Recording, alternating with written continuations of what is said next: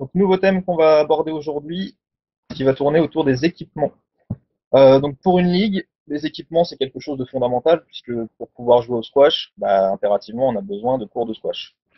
Donc, vous, dans vos associations, d'être attaché à un club, vous n'avez pas forcément cette problématique, mais à partir du moment où on va avoir une démarche départementale, régionale ou nationale, bah, les équipements prennent une dimension très importante, puisque sans lieu de pratique, bah, on ne peut pas développer l'activité. Et aujourd'hui, on est dans une société où le pratiquant, quel que soit le sport qu'il pratique, il a envie de pratiquer pas loin de chez lui. Moi, par exemple, je joue au foot. Si demain je dois faire 50 km pour pouvoir jouer au foot, je vais peut-être changer de discipline. En squash, c'est la même problématique. Si on veut toucher un public qui soit le plus large possible et inciter des gens à venir découvrir le squash, il bah, faut impérativement qu'on ait des terrains qui soient pas trop loin de chez eux. Donc pour une ligue, c'est très important d'avoir des clubs basés un petit peu partout sur le territoire pour que justement on soit capable de rendre notre discipline accessible à tout le monde. Nous, en région Centre-Val de Loire, on a mis en place ce qu'on appelle un plan régional des équipements ou un schéma de cohérence des équipements qu'on a réalisé en partenariat avec notre conseil régional, la direction régionale jeunesse et sport et le CROSS de la région Centre-Val de Loire. L'idée de ce plan régional des équipements, c'est de définir quels vont être nos besoins en équipement de squash sur la région. Où est-ce qu'on manque de cours? Où est-ce qu'il faut qu'on en rajoute? Mais pour ça, on a déjà besoin d'établir le diagnostic de ce qu'on a déjà. Donc nous, on a commencé par se poser un certain nombre de questions pour savoir où étaient basés nos clubs et à quoi ils ressemblaient.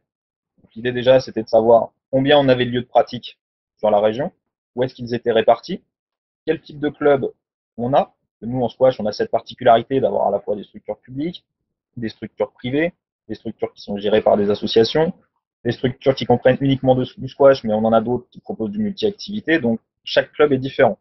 Et enfin, est-ce que mes clubs sont affiliés ou pas à la fédération? Une fois qu'on a fait ce diagnostic, on peut établir quels sont nos besoins en équipement sur la région. Ce qui est ressorti de ce diagnostic qu'on a fait sur la région Centre-Val de Loire, déjà, c'est qu'on a 580 lieux de pratique en tout sur, sur le territoire national.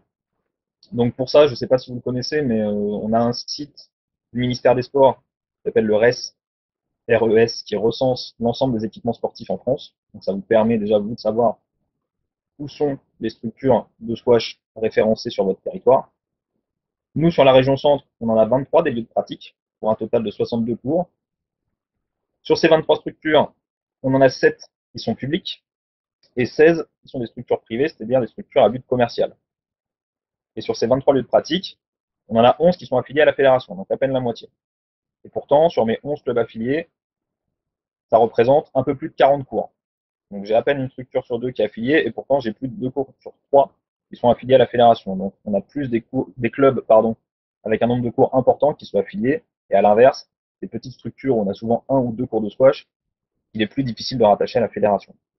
On a 1675 licenciés en région centre dans la saison dernière, dont 68% des licenciés, donc un peu plus de deux tiers, qui sont licenciés dans des structures publiques, alors que pourtant on a à peine un tiers de nos structures qui sont publiques.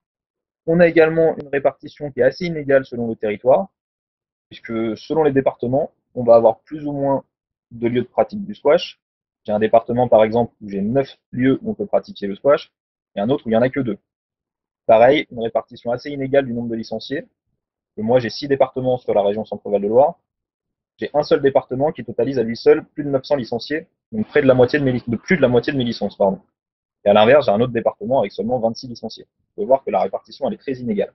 J'ai un nombre de licenciés par cours qui est supérieur au chiffre de la moyenne nationale, qui tend à démontrer que nous, en région Centre-Val de Loire, eh ben, on a peut-être des endroits où on manque d'équipement, et qu'on a justement des, certains clubs qui sont en saturation. La fédération préconise un cours pour 10 000 habitants en France. Nous, sur la région, ça représenterait un manque théorique de 194 cours sur l'ensemble de la région. Ça, ce sont pour les chiffres de mon diagnostic. Maintenant, nous, on a essayé de définir les objectifs en termes d'équipement sur notre région. Déjà, ce qui est certain, comme on a dit en introduction, c'est que ce manque d'équipement, fatalement, il nous bloque au niveau du développement de l'activité. Si on veut pouvoir ouvrir le squash au grand public, on aura besoin d'augmenter notre nombre de lieux de pratique. C'est un petit peu ce qu'a fait le tennis dans les années 80 à multiplier le nombre de structures avec l'aide des collectivités territoriales. Et de fait, le tennis a augmenté très fortement son nombre de licenciés parce qu'il y avait des cours de tennis partout. Nous, le but, c'est pas forcément d'avoir autant de cours de tennis, mais d'augmenter quand même notre nombre d'équipements pour qu'on soit capable de mailler de manière cohérente le territoire, c'est-à-dire qu'on ait des clubs de squash répartis un petit peu partout, et pas qu'on soit obligé de faire 200 km pour trouver un cours de squash. Deuxième objectif, ça va être de rééquilibrer l'offre sur la région. Vous avez vu qu'on avait, nous, une offre très inégale d'un département à l'autre. L'idée, ça va être de pouvoir proposer du squash partout. Et à partir du moment où on aura plus de cours de squash, on pourra envisager un développement plus important de notre activité. On a défini sur notre région trois axes pour pouvoir avoir plus de lieux de pratique. La première, c'est de créer des structures dans les grandes agglomérations de notre région qui proposent pas de squash ou une offre insuffisante. C'est-à-dire que sur une ville de 100 000 habitants, s'il n'y a que deux cours de squash, on ne va pas être en mesure de répondre à la demande et de développer fortement l'activité. Deuxième axe, créer des équipements sur les petites et moyennes agglomérations qui ne proposent pas du tout d'offres de pratique aujourd'hui. Et enfin, créer des cours supplémentaires dans des équipements qui existent déjà, mais qui saturent. Je reprends mon exemple avec mes deux cours de squash pour 100 000 habitants. Et bah, plutôt que de construire un autre équipement à côté, on peut aussi envisager d'agrandir l'existant. Donc nous, au final, on a sélectionné 10 projets par rapport à ce diagnostic et par rapport à nos objectifs qui nous semblaient prioritaires pour pouvoir développer l'activité et avoir plus de cours de squash. Voici deux cartographies. À gauche, la cartographie de nos clubs actuellement en région centre, avec en vert les clubs qui sont affiliés à la fédération et en rouge ceux qui ne sont pas affiliés. Vous pouvez voir par exemple ici sur le département de l'Indre-et-Loire que j'ai 9 lieux de pratique. Dans le département voisin, dans l'Indre, je n'en ai que deux. Je vous parlais de répartition inégale. On le voit bien sur la cartographie. Et on peut voir que j'ai des endroits totalement carencés où il n'y a pas d'équipement. Sur des zones assez importantes. Donc là, le pratiquant, s'il veut jouer au squash, eh ben, il est obligé de faire un nombre de kilomètres qui soit relativement important. Et à droite, notre nouvelle cartographie avec 10 projets qui ont été identifiés. On a essayé quand même d'identifier des projets dans chaque département, mais en insistant davantage sur les villes à fort potentiel et dans les départements où on avait le moins d'équipement, bien évidemment. Ça se traduit dans l'Eure-et-Loire, non pas sur un projet de club supplémentaire, mais plutôt le fait d'agrandir un club déjà existant, le club de Chartres, on en parlera tout à l'heure. Dans le 41, dans le Loir-et-Cher, on a identifié plutôt une structure plus au nord une structure plus au sud, là où on n'avait pas du tout de cours de squash. Dans l'Indre-et-Loire, très peu de projets forcément, puisqu'on avait déjà une offre assez importante sur l'ensemble du département, juste l'agrandissement d'une structure existante ici. Dans le 36, on a identifié deux projets, un là où il n'y avait pas du tout de cours de squash, et un autre, un projet double en réalité, soit de remplacer le club existant par un autre à proximité, parce que le club existant il est laissé à l'abandon, soit de réaménager, de rénover le club existant. Pareil dans le 18, créer un équipement à un endroit où il n'y avait pas du tout de, squash aux alentours. Et enfin, dans le 45, on en a identifié trois parce que c'est le département qui, pour nous, a le plus de potentiel en termes de volume. C'est là où on pense avoir le plus de demandes. Et donc, c'est là où on a priorisé un petit peu nos projets. Deux projets sur l'est du département, là où vraiment il n'y avait pas de cours de squash, et un projet plus sur Orléans, qui est la ville principale du département, où aujourd'hui on a un club existant de quatre cours, mais qui est en difficulté. Et on ne sait pas ce qu'il va donner demain. Voilà un petit peu pour les projets qu'on a identifiés sur la région. Maintenant, c'est bien beau, on a identifié des projets, mais comment concrètement on va essayer de convaincre des porteurs de projets de se lancer dans la construction de cours de squash? Il y a plusieurs étapes différentes. La première pour nous, bah, c'est déjà de rédiger des supports de communication et de présentation de notre discipline. Parce que quand on va voir une commune, une communauté de communes, pour leur dire il faut construire des cours de squash, c'est bien, mais il ne faut pas qu'on arrive les mains vides. Déjà qu'on soit capable de leur expliquer qui on est, ce qu'on veut faire, et les avantages liés à notre activité. On a une activité qui coûte relativement peu cher à l'investissement. En cours de squash, on considère que c'est entre 30 et 40 000 euros suivant le type d'équipement que vous allez choisir. Mais c'est un coût d'équipement qui est très faible comparé à d'autres disciplines. Pareil pour la superficie au sol. Comparé à la superficie d'un terrain de tennis, un cours de squash, c'est beaucoup plus petit, donc beaucoup plus facile à caser dans un projet. Ensuite, on essaye de travailler sur des projets types qui soient adaptés à la commune, par exemple, qu'on va aller cibler. Donc, on se sert par exemple des deux projets types de 4 et 8 cours qui ont été proposés par la fédération, vous avez peut-être déjà vu. Ou alors on peut proposer un projet complètement différent, mais à chaque fois qui va être adapté à la cible qu'on va démarcher.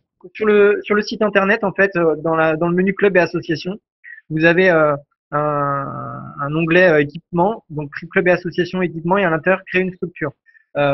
Et à l'intérieur de ces structures potentielles, il y a les équipements de proximité. Donc c'est des équipements de quatre cours euh, et il y a un, petit euh, visuel euh, vidéo qui est, intéressant en fait, qui accompagne les porteurs de projets, enfin qui montre sur les porteurs de projets d'équipement, euh, quel type de structure on pourrait construire. Donc ça, c'est un projet à quatre cours. Et il y en a un autre, c'est un projet euh, à huit cours avec cours vitrés. voilà, donc c'est des petits visuels qui ont été créés par la fédération pour justement accompagner les porteurs de projets et convaincre les, les, les administrations, collectivités sur la création de projets de ce type de quatre cours ou de huit cours avec euh, avec un côté euh, un côté design et, euh, qui présente en fait ce qu'on peut faire avec le squash. Quoi. Donc c'est c'est assez intéressant comme comme document quand on parle d'équipement d'avoir d'avoir ce type d'outil. Démarcher des communes, c'est indispensable. C'est pas toujours simple, je vous l'avoue. Mais euh, voilà, ça demande de, de prendre contact, d'essayer d'obtenir un rendez-vous pour se présenter, de leur présenter un projet qui soit adapté à leur environnement, à leurs contraintes. Ça fait partie de, de notre travail en tant que pas toujours simple, ça demande pas mal de temps. Pas toujours simple d'avoir des résultats, mais pour nous, on considère que c'est indispensable. Et nous, notre rôle, ça va être de conseiller et d'accompagner les porteurs de projets, alors qu'ils soient publics, mais qu'ils soient aussi privés. Ça nous intéresse aussi hein, d'avoir des, structures de squash, même si elles sont privées, qui se montent. donc, on va essayer de leur apporter des conseils et de l'accompagnement tout au long de leur projet, du démarrage jusqu'à la sortie des cours de squash. Autre chose qu'on met en place aussi, on participe, ou du moins on essaye de participer à un maximum d'événements où on va pouvoir rencontrer des élus, et ainsi leur présenter notre discipline. J'en ai cité deux, par exemple le Salon des maires, le Congrès de Landes, qui sont des événements nationaux. Donc le Congrès de Landes, c'est euh, un congrès national annuel qui réunit l'ensemble des élus en charge du sport. Ce sont des bons moyens, ces grands événements, bah, de rencontrer les élus locaux et de pouvoir leur parler du squash. Et après, dès qu'on a un événement important sur la région centre, que ce soit un championnat de France, une compétition jeune par exemple, on va essayer de les inviter à venir sur l'événement et à venir découvrir notre discipline.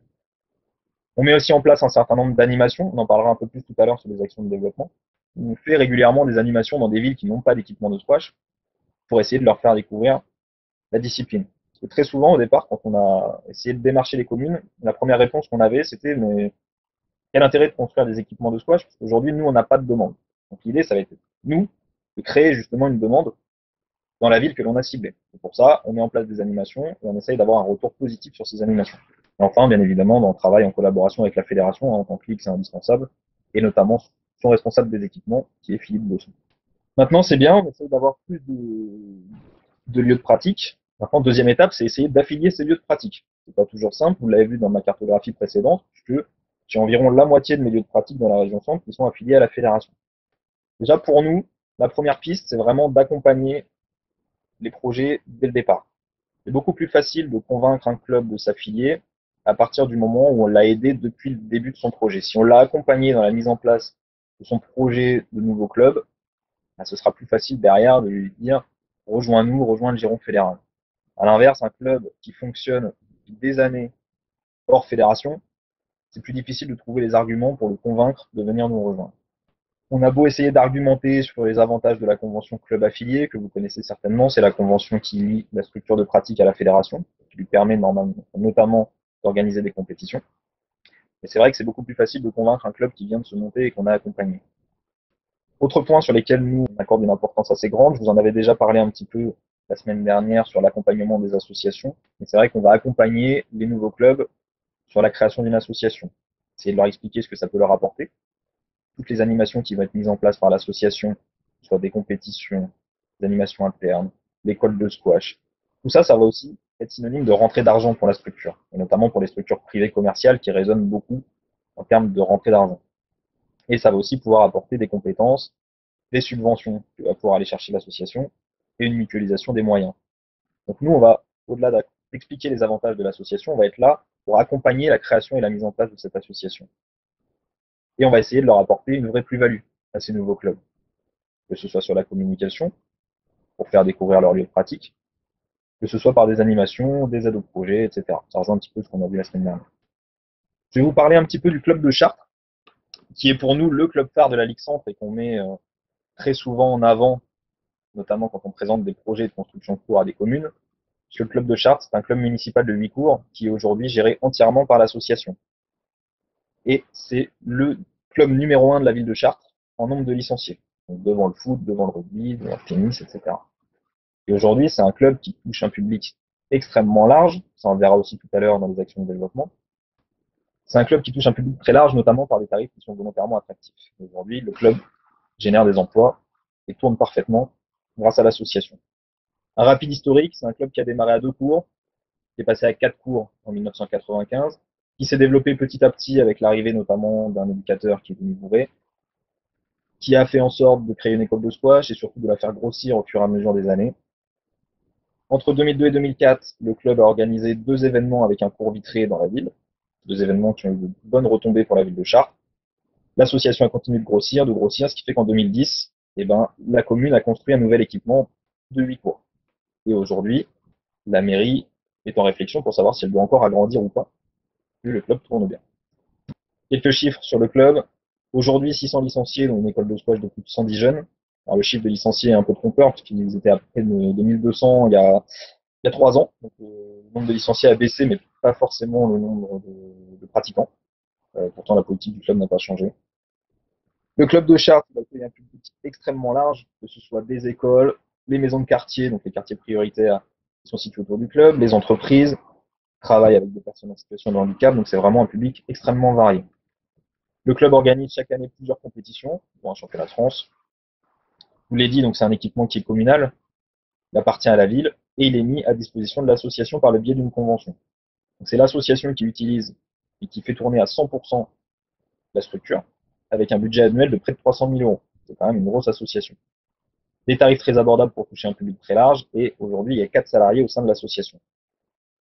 Pourquoi je vous parle du club de Chartres? Parce que nous, évidemment, pour nous, c'est une vitrine dans la présentation de nos projets d'équipement. Donc très souvent, quand on va essayer de démarcher des communes pour leur montrer l'intérêt du squash et ce que le squash pourrait apporter au sein de leur ville et à leurs citoyens, eh ben, on essaye de les inviter à venir découvrir le club de Chartres pour mettre en avant notre discipline, pour leur montrer qu'un équipement de squash, eh ben, on peut toucher un public très large, qu'on n'est pas sur euh, un sport élitiste, comme peuvent en avoir parfois l'image, c'est l'image que parfois on peut rendre, envoyer au grand public malheureusement. Donc on va essayer de casser un petit peu cette image et on va les inviter à rencontrer directement les élus de la ville de Chartres qui ont été à l'origine de ce projet.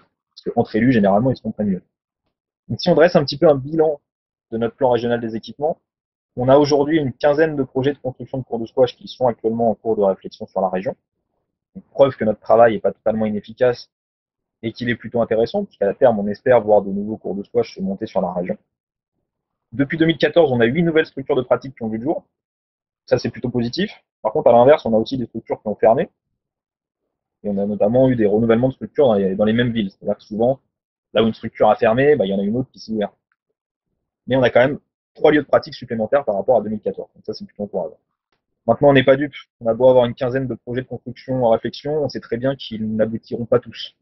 Ce sont des projets qui demandent beaucoup de temps.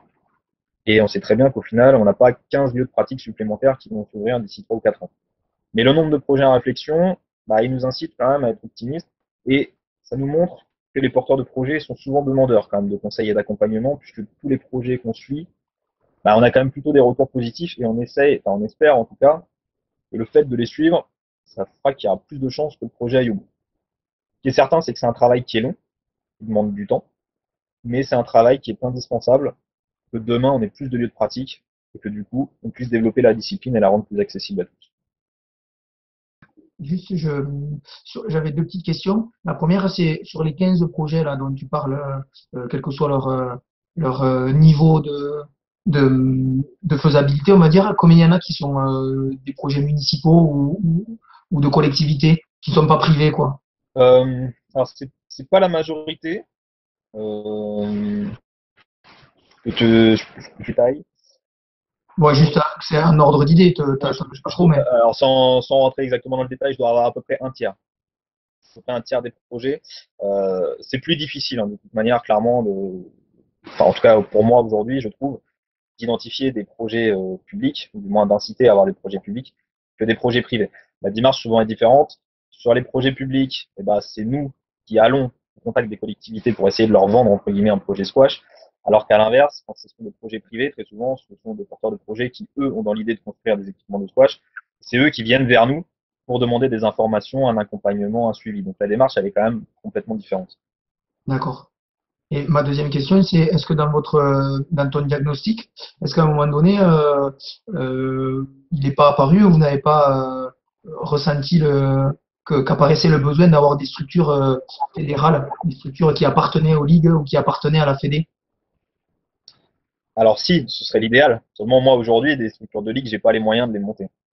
Maintenant, c'est sûr qu'à terme, euh, si on pouvait avoir des structures fédérales, c'est-à-dire des équipements qui sont directement identifiés par la fédération, qui correspondent à nos besoins et qu'on puisse mettre en place, ce serait l'idéal. Maintenant, est-ce qu'on a les moyens, et notamment les moyens financiers de mettre ça en place Moi, en tout cas, au niveau régional, aujourd'hui, non. Heureusement, je ne peux pas. Pourquoi pas passer directement par de la structure publique, puisqu'on voit qu'en passant par le public, le coût euh, de la séance de squash, on arrive à le descendre à 5 euros. Là, on, va vraiment sur quelque chose de, qui va toucher tout le monde. Pourquoi pas partir dans cette... Euh, enfin, je comprends pas trop en fait. Ben, nous, aujourd'hui, notre démarche, elle va essentiellement euh, vers les, vers les collectivités, donc dans l'idée d'avoir des structures publiques. Après, c'est pas pour autant qu'il faut qu'on néglige les porteurs de projets qui sont privés, mais nous, on les démarche, mais nous, on les démarche pas. On les accompagne quand ils ont besoin, mais nous, notre démarche d'équipement, là, les démarches dont je vous ai parlé tout à l'heure, elles ne concernent que les, collectivités. Hein. Donc nous, c'est clair, c'est dans le diagnostic, à un moment donné, c'est un chiffre dont je vous ai parlé.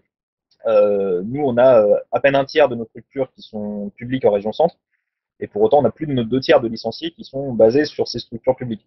Donc, nous, demain, c'est certain que si on veut proposer une discipline qui soit accessible à tous, ça passe aussi par des tarifs qui soient plus bas, et c'est donc plus facile de le faire dans des structures publiques puisqu'elles n'ont pas un objectif de rentabilité. Donc je te rejoins complètement sur, ta question. Nous, on souhaite avoir plus d'équipements publics. Maintenant, comme on manque de lieux de pratique dans tous les cas, on ne peut mm. pas négliger les structures privées. Oui, oui, non, non, mais je suis d'accord. Mais ça doit être forcément plus facile de passer par la Fédé et notamment par, euh, entre guillemets, par le, je veux dire, les, les, instances euh, nationales, notamment, enfin ceux qui sont payés déjà par, euh, par le ministère, pour passer et à toucher plus de structures publiques. Enfin, dans mon idée, c'est ça. C'est peut-être pas aussi simple, mais non, c'est. comprends pas pourquoi la Fédé fonctionne pas dans cet état d'esprit. C'est ça le.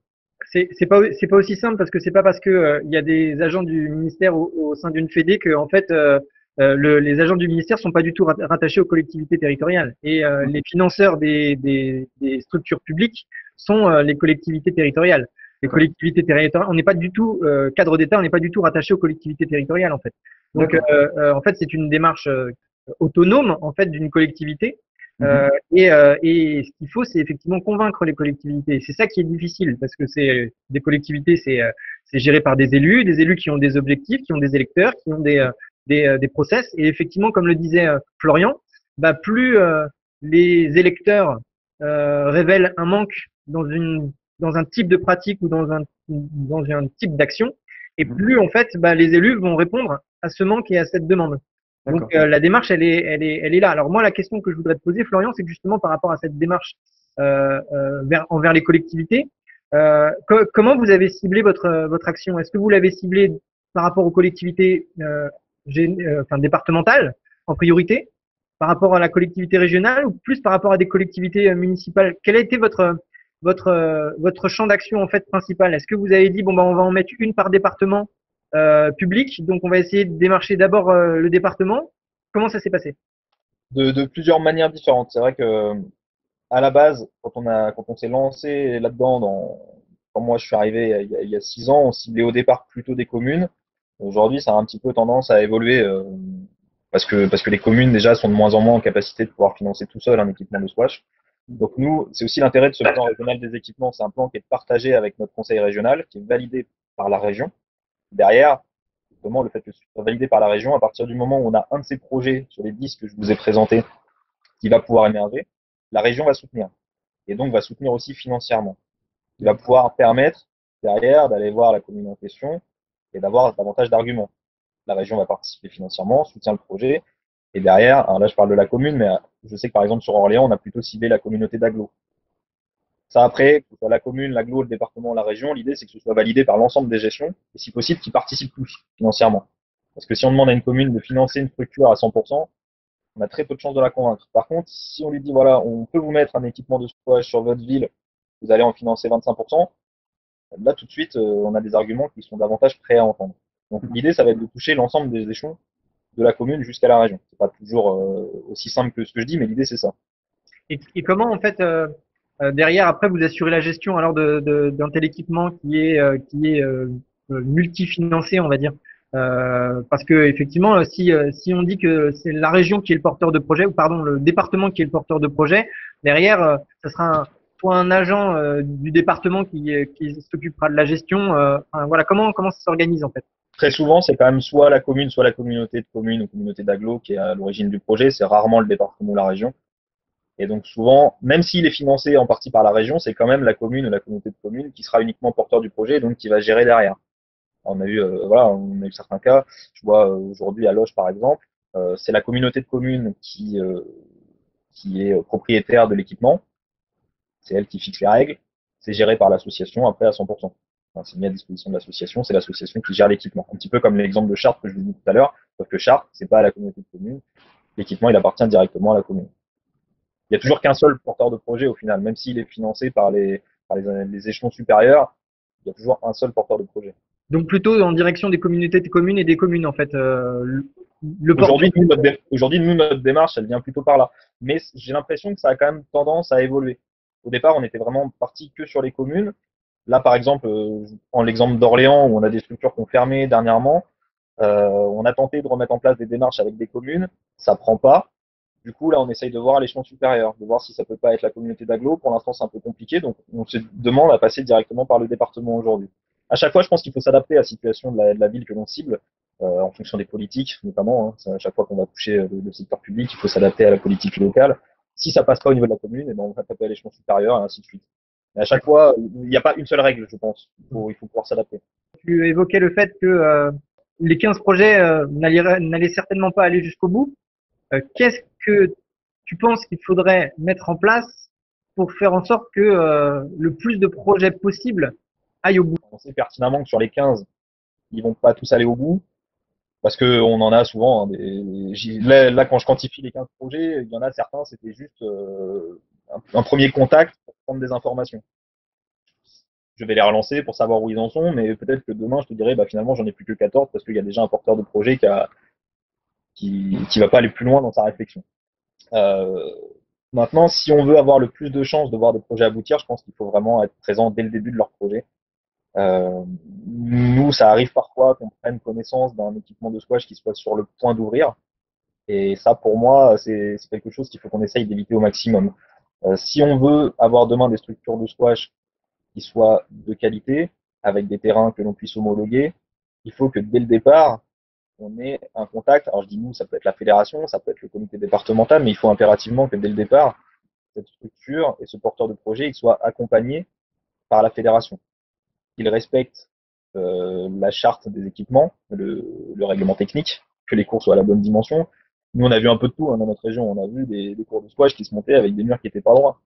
Euh, donc, si dès le départ, on avait pu être là pour, euh, bah, pour accompagner ce projet, les guider, leur donner des pistes, optimiser les plans, parce que des fois, dans les structures qui se montent, c'est pareil. On, pense qu'on pourrait faire beaucoup mieux euh, en termes d'équipement